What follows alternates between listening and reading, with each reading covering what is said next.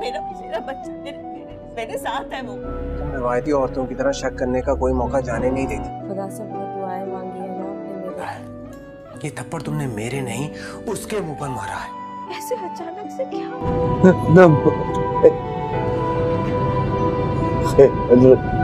प्यारे कोबरा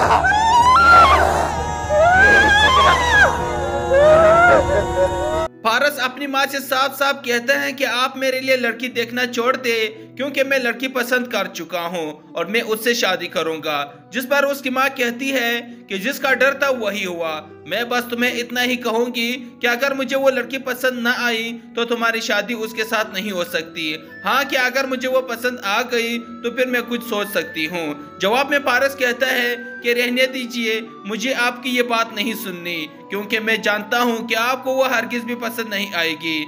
इसलिए मुझे आपसे पूछने की कोई ज़रूरत नहीं है। मैं सिर्फ़ आपको बता रहा हूँ। पारस की माँ कहती है कि, तुम जानते हो कि मुझे वो लड़की पसंद नहीं आएगी तो इसके बावजूद भी तुम उस लड़की से शादी करने का सोच रहे हो। आखिर वो लड़की है कौन? मुझे उसका नाम बताओ। पारस कहता है कि वक्त आने पर बता दूँगा, लेकिन अभी इतना जान लीजिए कि इस घर की बड़ी बहू जिस घर से आई है, वही से छोटी बहू भी आएगी।